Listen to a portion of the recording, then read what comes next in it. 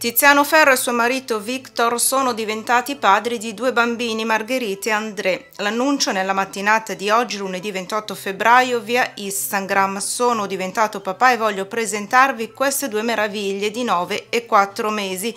Margherita e André, la vostra vita è appena iniziata.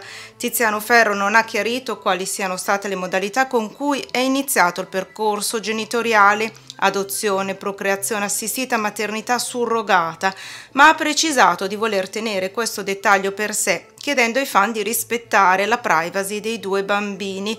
Comprendiamo e accettiamo la curiosità che regna intorno a noi, ma vi chiediamo di rispettare la riservatezza di Margherita e André. L'impegno di Tiziano Ferro e Victor Allen comincia dunque così.